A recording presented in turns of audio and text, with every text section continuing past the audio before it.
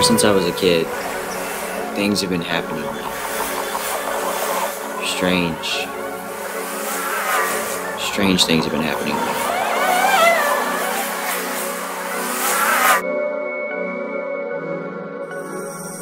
I just never really figured out how to talk about it.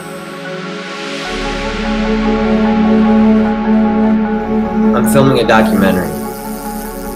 I'm using GoPros, iPhones, tiny medical cameras. I'm gonna find out who's been behind those tinted windows in my neighborhood.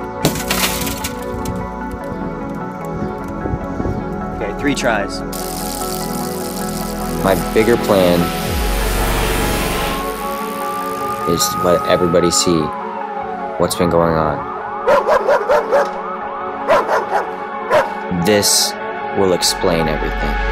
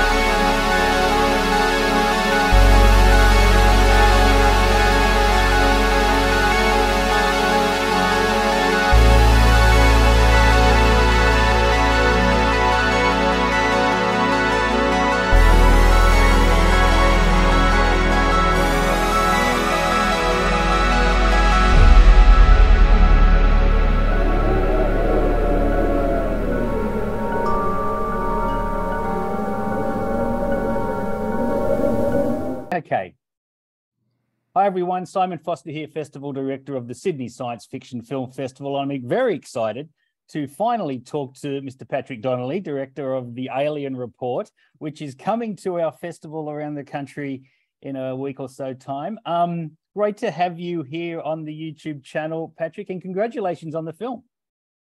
Thank you so much for having me. We're really excited to show it in Sydney. Um, we have a close connection to Australia because some of this, a lot of the star footage we used in the movie is from uh, an astronomer, uh, amateur astronomer in Australia that we got hooked up with through YouTube. You know, we're a talented bunch down here. We really are. All right, let's do this thing where we where we sell the film a bit. Give us Alien Report 101. What what's it about for those who are who are just coming to it fresh? You know, when we first were making the movie, just by random luck, we got uh, a meeting with a film company in Los Angeles. We were there for like two days, and there was a notable film company who we sat down with all these executives, and we thought we're on our way, you know. and they said, "Tell us what the alien report is about," because they saw a little bit of you know test footage that we did. And I go, "Yeah, it's this kid. He's recording his alien abductions, and you see everything." And they go, "And what's the movie about?" And I go, "I go, what else is there to say?" Exactly. You know. And the meeting didn't go well because I had never been in a pitch meeting before, you know. And when I get, and when we got out of the meeting, I was with my buddy who helped me film it. His name's Kevin Schroeder, and he was the DP on it. And he goes, "Dude, why didn't you tell them the story of what the alien report's about?" And I go, "Like what? Like it's this troubled teen who's like, you know, abducted his entire life, and he decides to finally hide a, a hidden camera inside of his cochlear implant, and he wants to show the world, you know, his." actual alien encounters and he chases the men in black and he covers he covers himself with tiny GoPro cameras and he goes after the cars and it's his struggle you know because no one's to believe him so he he he's going to show footage of the men in black and interactions with an alien hybrid girl and like I to, and I told my friend Kevin I'm like what is that what they wanted and he goes dude yes Yeah, of course he's like that's what they what want. yeah he's like that's what they wanted to hear you know Ah, it's a But good pitch. It's I- a solid pitch. I'd have made the movie. Why wouldn't you? That's great. I know, I was learning, you know. But I mean, it's essentially we thought, you know, we I was a big fan of sci-fi, you know. I love sci-fi. And whenever I see movies like Contact or Arrival, you know, some really like high, you know, budget movies, I, I always go, why don't they just show the aliens? Mm. You know, I'm like, and why don't they tell the real alien story instead of showing octopuses? Because, um, you know, when people say that there's no proof and we don't know what's flying these UFOs, I sort of scratch my head and go, wait a minute, isn't there a lot of proof? Isn't there like a lot of drawings and like firsthand accounts of people that supposedly have met these things? And isn't there like sculptures that have been made? And you know, I like to me when we were researching it, I was overwhelmed with the amount of, I mean, you know, not proof like someone landing on a lawn and saying, "Hey, we're the aliens." Yeah. But I mean, as far as proof goes, I think there's like more proof of supposed proof of of alien encounters throughout history and, and, and more recently than you know of, of just about anything else you can name. Yeah, exactly right. And you're certainly preaching to the converted here. I'm I'm on the record as being an absolute UFO alien abduction nut. So um, I absolutely soaked up all the elements of this film. Let me just touch on, and it sort of wears that found footage label, but I guess because of the aesthetic and the the uh, the handheld footage and that sort of stuff that that's a big part of it. But I think it's a it's a deeper sort of construct than that, isn't it? Like it's how do you how do you how would you describe the filming style and, and the genre that it maybe fits into?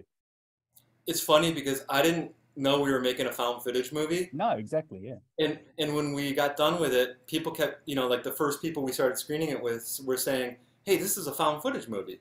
And I'm like, "No, no one found the footage." Mm, yeah, exactly. And and I'm like, "It's not a found footage, you know, but it is a found footage. it's a found footage in the sense that, you know, it's like it's a POV selfie movie.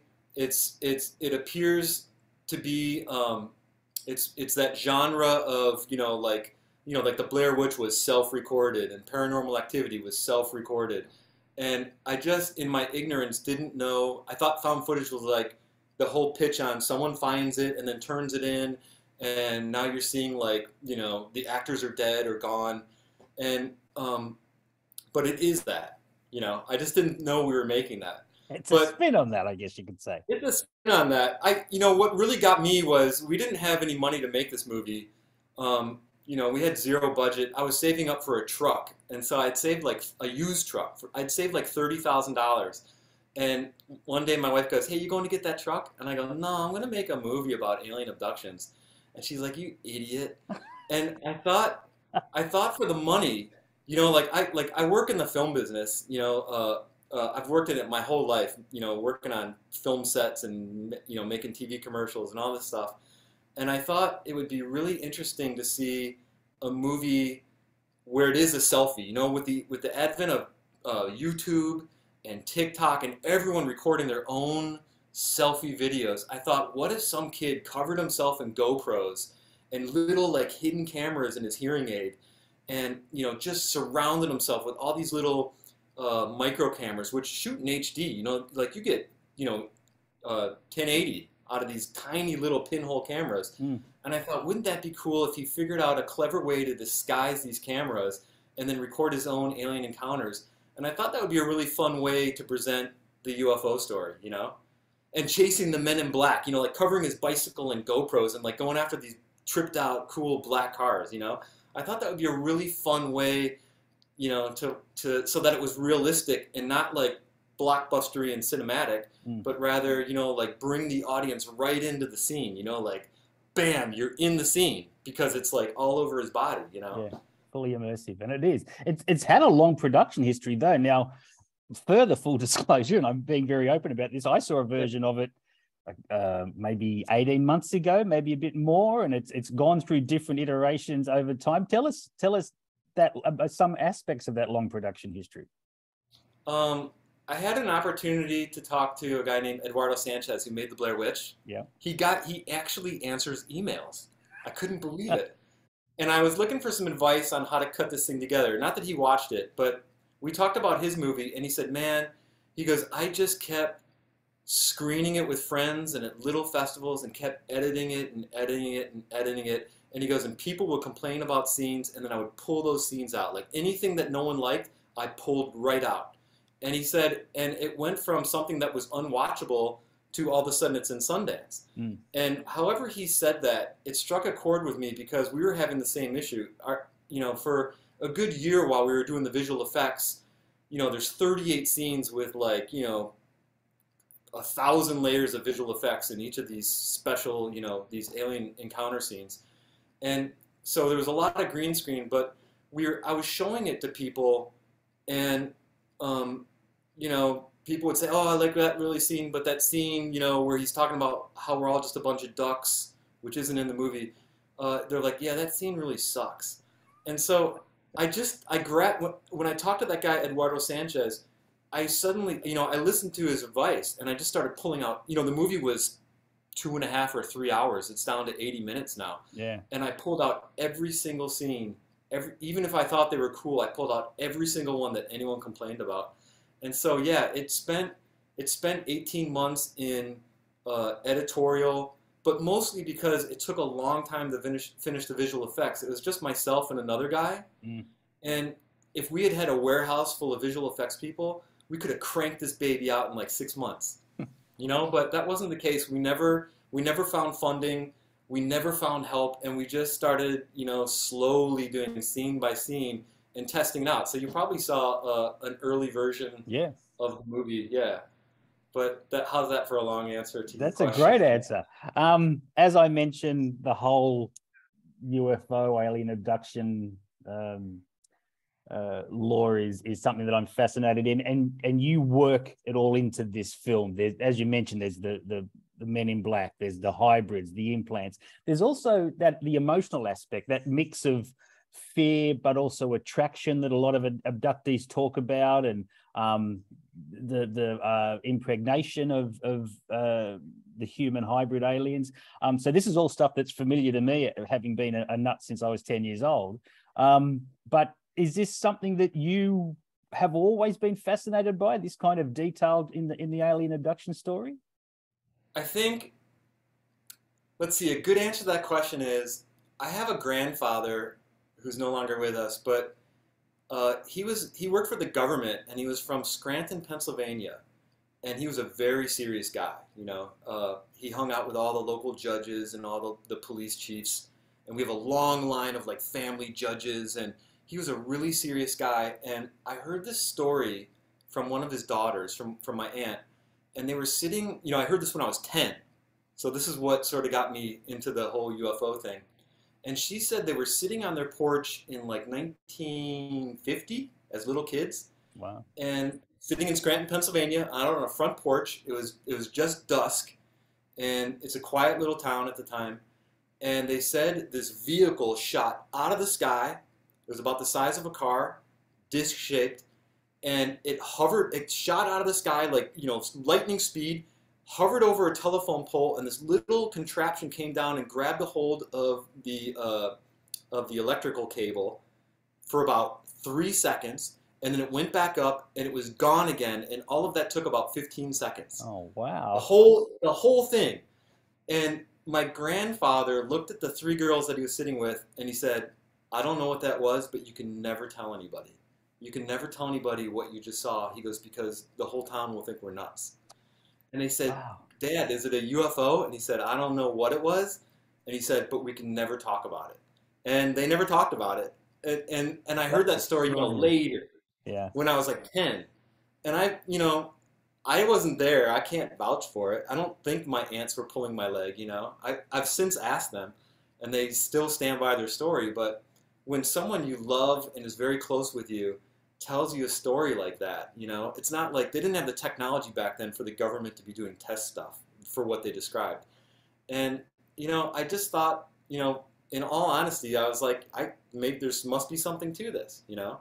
And there why would why would a gentleman of, of of you know such a stoic nature as you describe, why would why would he describe that? Why would he put that out there? Why would he, you know, keep that as, as part of his family when he or make it up when he when he doesn't have to put his family under that sort of pressure. I hear that kind of story a lot. Just average people who after years and years decide to come out and tell a story and it's um I that's a lot of the proof that you talk about early on that the, the, the integrity of these people involved like thousands of stories like that when we were researching this it's not thousands it's like hundreds of thousands of stories and the, the good ones are like you know the credible ones are when it's a cop you know, or like a British, you know, counselor who says, not only did I see it, but I could have thrown a brick at it. Like I was that close, you know? Yep.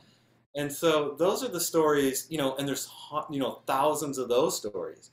So, you know, as far as like, you know, but there's no proof. It's like, yeah, try to like take a picture of an airplane flying by, you know? It's like, it'll always be a dot in the sky, you Yeah, know? exactly. but I think you know, you know, I I'm also I'm not like. The truth is, I'm really skeptical of it all. You know, I and, and since I work in visual effects, I never believe anything when I see these videos and pictures Mm. because I know how easy it is to fake. You know, but even with that kind of skepticism, uh, a really like a really good way to look at this is you don't have to believe me and you don't have to believe Simon Foster. It's like our governments are now telling us there's something in the sky, they don't know what it is, and they're looking into it. Mm. You know, so don't believe us. Don't believe like, you know, the the person on YouTube. It's like there's now a government, you know, uh, effort that's saying there's something in our skies and we don't know what it is. Yeah. And I think that's not only in the skies but in our seas, in the Well, ocean. that's a fascinating part as well. That's a whole sort of different kind of of uh, visitor that that you know needs to be discussed and needs to be looked at as well. Maybe that's your sequel. Maybe maybe your uh, your teenager goes under the oceans. Well, I think you know um, I've worked in the film business a good long time. Uh, I didn't totally intend to start off by making a UFO movie. You know, like uh, I also like I've done a lot of pursuit stuff with GoPros. You know, chasing cars and things. Sure. And I I really wanted to do this motorcycle apocalyptic chase movie. You know, in the future, but it was so expensive and our funding was always falling through. And a buddy of mine goes, "Hey, dude, do that alien movie with the kid that you told me about." You know, it'll be easy. He's like, you got GoPros and iPhones. He's like, you don't need a big production. You don't need special cameras. He goes, you can really get great footage. It's all in HD. It's all high definition. He goes, you can take your time with it. You can have a really small little group of, you know, maybe like a lighting guy and a couple of actors. And he goes, and just give that a shot. He goes, if you're trying to kickstart your career, you know. And and so I'm, I didn't mean to make to become like a UFO spokesman, but it's been fun. I bet. It's yeah. been fun. We've been getting a lot of emails, like Simon, hundreds of emails from people who have encounters and they don't know who to talk to, but they watch the movie because we've been doing like this test screening on Vimeo. Yep. You know, we, we do that every now and then on Facebook, and then it, you know, maybe like four thousand people have seen it so far, and we've had hundreds of emails of people who don't know who to talk to. Like MUFON doesn't answer their emails, so they write us. They're like, "This is get what's happening. I don't know what to do about it." You know, Yeah, it's been really interesting. I got to be honest with you, that's part of the reason I programmed it because as someone who has that fascination to see the way you portray the inside of the spaceship and the um and the, the, the extraordinary design work and makeup design that you you do to create the aliens. Um, I think when people see this on screen, it's going to be the kind of movie that represents to them what's going on in their minds and what they think it might look like, which is what I want to touch on now. The design elements, sort of envision, envisioning that disorienting inside of, of the UFO, of the, of the spaceship. Um, were there a thought process? Was there a, a design sort of um, dream board behind behind putting those together?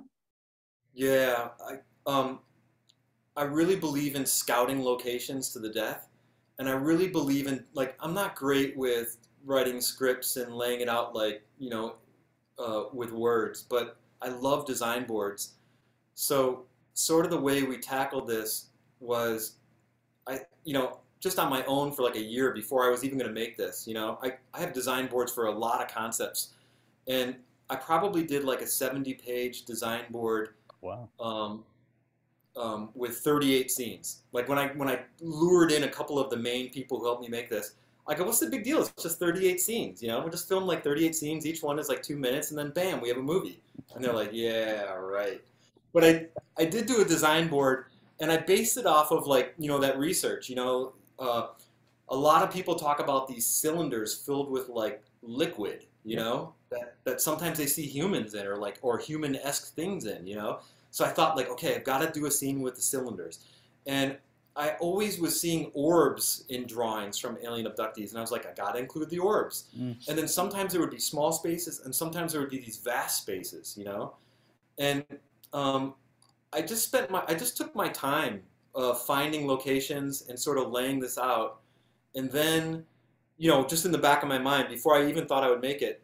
And then when that buddy of mine, who's a director, like he directs TV commercials, he said, "Dude, do that alien thing." And I had already had a board for it. I already had locations picked out for it, and I thought, uh, so so yeah, that's how I tackled it. But you know, I thought it was important. You know, Simon, I wanted to show a movie where you see everything, where it wasn't just jump scares. Mhm. And I think when some people will watch this, they might get a little frustrated, like, why the f am I is an alien staring into camera for like 40 seconds? And the answer to that is because, like, when do you ever get to see that in a movie? Like an alien Sure. walk right up to camera and just telepathically stare at the person they've abducted, you know? Yeah. And then you really get to observe the alien for like 40 seconds, not like, boom, oh my god, it's an alien. Okay, it's gone, you know? And it's at the end of the movie. Like in the alien report, right from the start, it's like an alien walks right up to camera, and that's the start of the movie. Mm. And I thought that would be a, I thought UFO people wanted to see that kind of stuff. I don't know if I'm right or wrong about that, but Well, I think that's familiar to a lot of UFO buffs and those who follow alien abduction. A lot of them talk about being stood over by different types of aliens, and and and you know, so that is all part of the quote unquote authenticity of the the look of the film. yeah. I Um, thought that was important. I, you know, just for once, you know, I get frustrated with movies, and I'm like, oh, I had to watch it for two hours, and now I finally see the cool alien scene at the end. You know? Yeah. I thought like, you know, this kid chases the Men in Black the whole time. He's like, I'm gonna take a brick and break out their effing window. He's like, I'm gonna find out who's following me, and I thought that was important for the audience, uh, you know, to be able to be taken on this journey, but to like actually get taken on that ride where like you see everything. So, you know, a good chunk of the movie, he's chasing after these cars that are like stalking him, and you get to see him like run up to him. You get to see him like smash out a window. You get to see like him interact with whatever it is that comes out. And I thought, you know, we didn't have the budget to like go blockbuster huge, you know, with with a lot of action sequences, but we did have the time to sort of take you on this like slow moving journey uh, and and get to see like various elements of you know of the three part story to, to the UFO story, which is like Men in Black, telepathic beings, and like human hybrids. Hmm. So I just thought we would take our time with it and and sort of just do a slower moving version of of of a UFO movie, you know.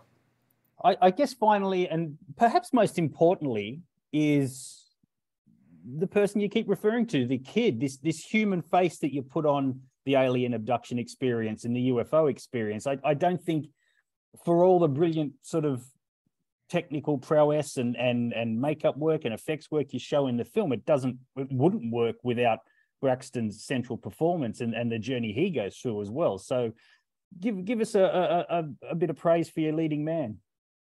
You know, we wanted to film in really tough neighborhoods in Chicago, like the toughest of the tough, just Mm. just to make it different with graffiti and bombed out buildings. And I was originally going to cast this black dude uh, who was out of Detroit, and he was so good. You know, he was so good, and he had to go away to college because because we got delayed a couple of months, and I got stuck. You know, because I'd spent a long time trying to find someone really good, and this Braxton showed up at the last second. And uh, he sent me like an audition holding his phone at it was midnight when he sent it to me. And he was he was a extra in a bunch of like bit tv shows around chicago and doing like little bit work. And he was only 17 or maybe he had just turned 18 but he was a i don't know if i should say this but he was so he's blonde he looks like a california surfer and but he was so good i thought that you know, I go, well, let's hire this kid, but we got to make him look more city tough. So we dyed his hair black. We put some scars on him just to make, just to bring in like the sympathy, you know, like and, and to create a, a, a, a bit of wonder about this character, just so he instantly looks sort of beat up, you know, because I wasn't sure how else to convey that. But I thought he was great. I think because he carries the whole movie, and because we didn't have a, a budget to shoot, and because he was memorizing lines, you know, uh, you know, last, he had, thank God he had a great memory, but he was memorizing lines, you know, last minute, and we were, and there was a lot of movement to this movie. He was on a bike, he's chasing after cars, he's screaming into the camera. So he had a lot of work to do for a new actor. But what really clinched it was, you know, the first day we were filming, he got a call and he got a full ride to, to an LA college uh, a full scholarship for acting because he had done some auditions for them. So that sort of solidified it for us that we had made the right decision. That it wasn't just us who believed in him, but it was a university who gave him like one of you know one of a couple of scholarships to their to the university. Yeah. I think he was under tremendous pressure, and we didn't want someone who was like overacting, like, "Oh my God, you know, the aliens are taking me." Uh. You know, he was when he when he said, "How should I play this?" I said, "Just you know, I had seen a kid just like him uh, on Oprah Winfrey years ago, and I go, man, that kid is like got issues. Like he's not very emotional. He's sort of like ice cold, Mm. and I really like that kid's presentation. You know, a real alien abductee, and so uh, I talked Braxton through that. You know, don't overact this. Just you know, you're doing selfie videos. Uh, you're trying not to be embarrassed because if this ever takes off, you know, like in theory, if your friends and family ever see this, like you don't want to come off as like, Ugh! you know, like you want to be sort of cool. You're 18, you know. Yeah. And so I, we had him play it that way. It was safer, so that he wouldn't have to act, you know, overact. Sure. And and and he's and he got it. You know, I thought he nailed it. You know, I thought he did a great job. I thought you nailed it, Patrick. I think you've created a film that's going to sit well with with fans of the the UFO and alien abduction genre. I think you've um, created a, a really compelling character arc in in Braxton's journey, and um, I'm hoping that that we can represent the film well down here in Australia. So thank you, mate, for being on the show, and and good luck with the film. Thank you so much for having me. Thanks for showing the movie. I know it's a little risky and it's different, um, and it's so nice to meet you. And uh, and thank you.